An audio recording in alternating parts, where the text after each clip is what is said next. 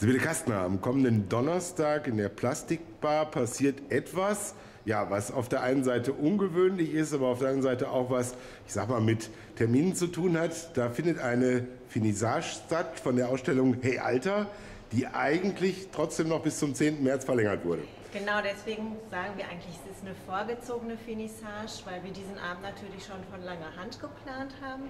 Da kommen prominente Gäste, nämlich die Goldies. Das ist ein Seniorenchor vom Niederrhein, der recht bekannt ist und die covern deutsche Pop-Songs.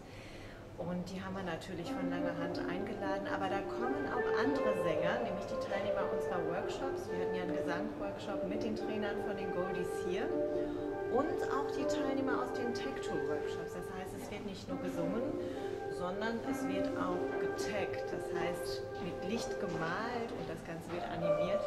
Und so ein bisschen weiß ich auch noch nicht genau, was da passiert, weil die sind natürlich alle kreativ und machen ein bisschen ihr eigenes Ding. Man darf also gespannt sein. Und bei den Goldies ist etwas ganz Besonderes. Die sind alle, wenn ich richtig informiert bin, über 70. Die sind alle über 70, genau. Die sind, der Vorbild von denen war der Chor Young at Heart. Das ist irgendwie der erste Seniorenchor, der so richtig Furore gemacht hat.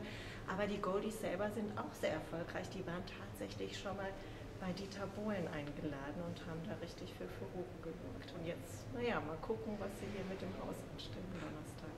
Und jetzt aber zum genauen Termin. Das ist Donnerstag, der? Donnerstag in der Plastikbar ab 19 Uhr sind Sie herzlich eingeladen. Dankeschön.